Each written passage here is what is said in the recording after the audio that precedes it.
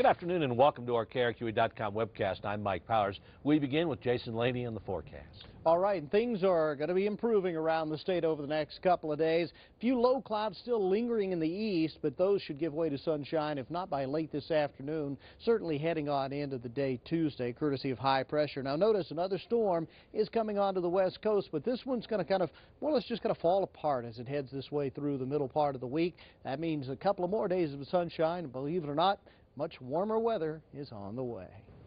The trial for the man accused of gunning down a restaurant employee during an armed robbery has begun in district court.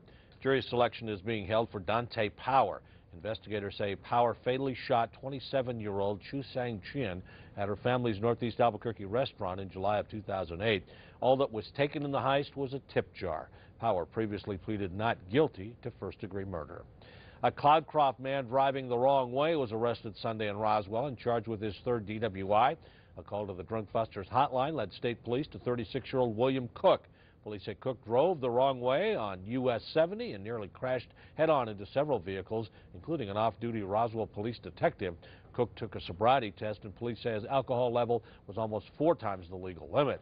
He was booked into the Chaves County Detention Center on DWI and driving with a revoked license charges. Stay with KRQE for more news and weather updates throughout the day.